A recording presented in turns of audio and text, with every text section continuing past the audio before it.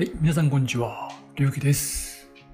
今日は土曜の時期に恋愛運、金運、運気が良くなる宇宙からのメッセージというお話をしていきたいと思います。今月は7月、7月ですね。7月といえばもう今年の後半戦です。早いですよね。あっという間ですね、1年が。だから一日一日を大切にしていきたいですよね。皆さん僕の喋り方って呪いですかね？なんか自分の動画を見るとき、1.5倍速にしたらちょうど良い感じだったんで、呪いかなと思ったんですよね。なんか2倍速でも違和感がなかったんで、どうかなと思いまして。まあそんなことはさておいて、そんな7月には土曜の時期というのが存在します。皆さん土曜って聞いたことあります？なんか土曜の牛の日にうなぎを食べましょうみたいなそんな話って聞いたことないですかね？僕は小さい頃両親が共働きで自営業をしていたんで朝から晩まで両親が働いていたんですね。で家にいなかったんでおばあちゃん子だったんですね。だからおばあちゃんの家にずっと預けられていたんで土曜の牛の日はうなぎ食べなさいってよくおばあちゃんに言われた記憶があります。そんな土曜っていうのは季節が変わる時期を表すんですね。次の季節に向けてエネルギーが動いていく時期なんです。季節なんで春夏秋冬のように年に4回あります。1月、4月、7月、10月ですね。皆さん、木下土根水って知ってますかね ?5 行ですね。木、火、土、金、水という工業です。そのうちの土の時期なんですね、土曜っていうのは。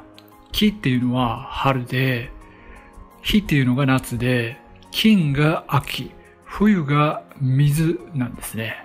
そしてその春夏秋冬の間に土の時期が挟まっているんです。まあ、えとで言えば、牛、タツ、羊、犬ですね。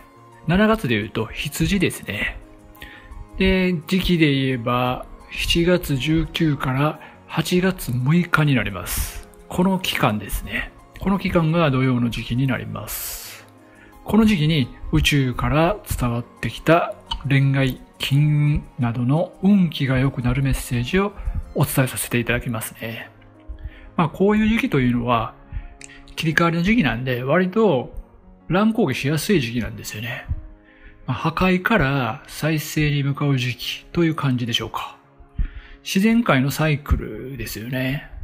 昔からよく言われているのが、この時期はエネルギーや体調が乱れやすいので、土いじりとかしない方がいいですよ、という感じだったんです。まあ、土をいじる方はエネルギーの波動を整えたり、体調管理を万全にすればいいということなんですけどね。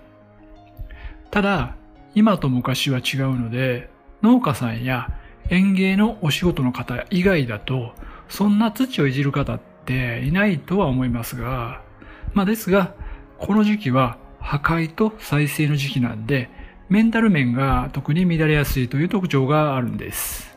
まあ、乱高下しやすいと言いますか、普段ポジティブな方でも落ち込んだりしやすいんですね。この時期はネガティブな感情に流されてしまったり、もやもやイライラしたりするわけです。要は、アップダウンが激しい時期なんですね。だから、メンタルが乱れやすいんです。ですから、メンタルが乱れている時は、自分が悪いとしないようにしてください。メンタルが乱れている時って自分を責めてしまう方が多いので、まあ、ああ、この時期のせいなんだなと、自分を責めないようにするといいということですね。自己否定を手放してほしいんです。なぜなら、例えばここでうまくいかないということがあったとしても、メンタルの調子が悪くても、破壊から再生に向かうためのデトックスする時期だからですね。要は、この時期はいらないものを出しているということなんです。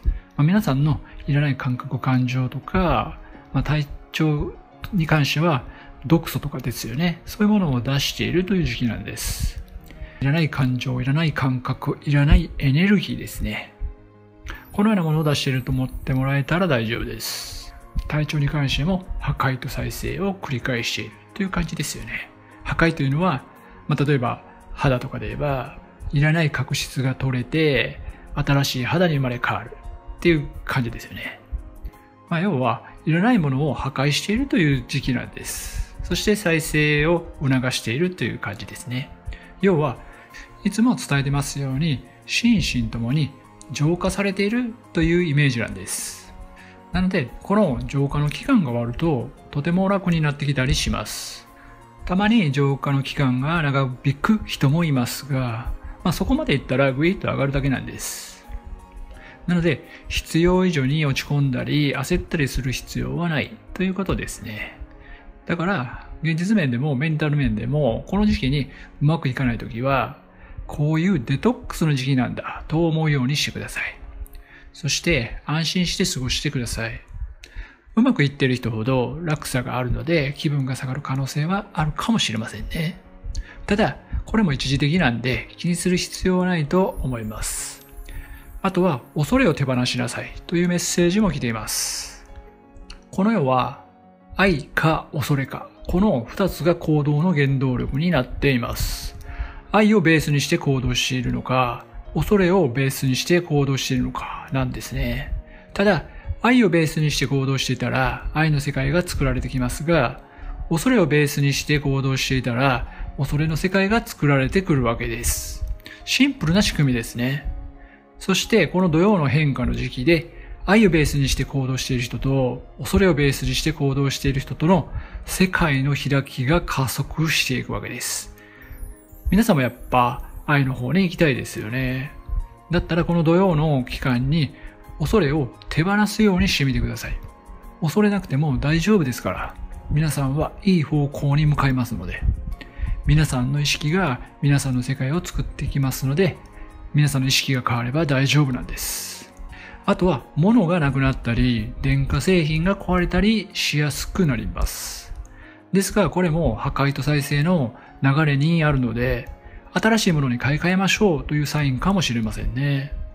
だから、この時期に物がなくなったり、電化製品が壊れたとしたら、新しいものを新調するのもおすすめです。まあ、こういう時期なんですね。体調を崩しやすい、メンタルが落ち込みやすい、恐れを手放すこと、物をなくしやすい、電化製品が壊れやすい。これを意識してみてください。今回の宇宙からのメッセージでした。ぜひ参考にしてください。また何か疑問やお話ししてほしいことがあれば、コメントの方にお書きくださったら、できる限り動画の方でお伝えしていきたいと思います。それでは今日も最後まで聞いていただいてありがとうございます。よかったらチャンネル登録、高評価、コメントの方よろしくお願いします。それではまた次回の動画でお会いしましょう。皆さんの幸せを心よりお祈りしております。